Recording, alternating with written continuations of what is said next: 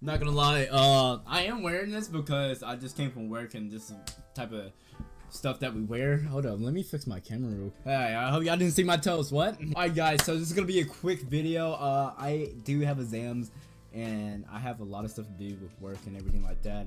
And the exams is coming up, so I need to study. So is gonna be a quick video. Um, you guys know I post daily, so I'm trying to, you know, keep my streak going. Uh, but anyway, I do. This is an important video though that's you as you know um i've been talking about dragon ball legends. I've been talking about gs it's two of my main games that i like to play.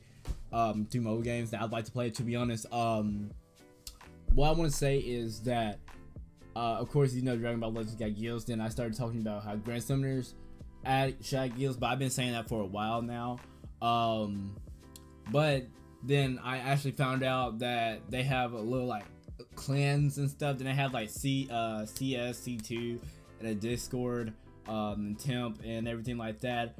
Uh I got a got like two comments down below uh from last video talking about uh I would definitely I would definitely join your clan sleepy if you made a clan. all right. All right. Let's let's see let's see how hard can y'all go. All right, so this is what we're to do. If this video gets 70 likes. Bump that. If this video gets 80 likes, bump that. If this video gets 100 likes, 100 likes, I will start my own clan and it's gonna be big. I'll make I'll make a clan channel for Grand Summoners. I'll make a clan Instagram and Twitter.